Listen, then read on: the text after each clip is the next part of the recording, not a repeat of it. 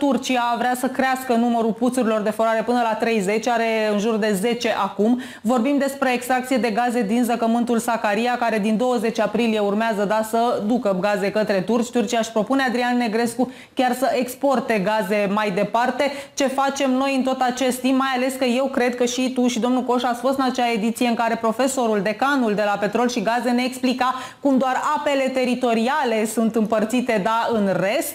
Vorbim despre zăcăminte la comun.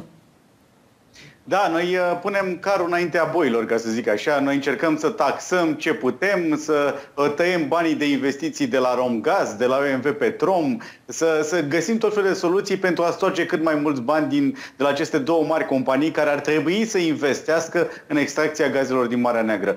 Uh, din punct de vedere legislativ încă nu e rezolvată problema. Cei de la OMV Petrom împreună cu cei de la Romgaz încă evaluează Ehm, eh, dacă aceste gaze din Marea Neagră pot fi exploatate la un nivel comercial optim, adică să facă și profit și să, să fie exploatație pe, pe, pe termen mediu și lung, eh, iar anunțul turcilor vine să creeze o problemă, pentru că ar putea ca cele două pungi să fie legate și asta înseamnă că dacă turcii încep să extragă gaz metal la nivelul de 25 de miliarde de metri cub, eh, s-ar putea ca și zăcământul românesc să fie afectat. Ei, acolo ține de modul care ne mișcăm noi, târâși grăpiși, ca să zic așa. Uh, turcii în, în 3 ani au făcut ceea ce noi am făcut în 27 de ani, să înceapă exploatarea gazelor din Marea Neagră. Noi s-ar putea ca prin 2026-2027 să începem să le exploatăm, cu efectele nocive normale pentru economie. Adică când ai niște resurse și nu le exploatezi, e normal ca alții să-ți fure startul și tu să fii în continuare importator, din păcate, cu toate că stai pe o mare de resurse.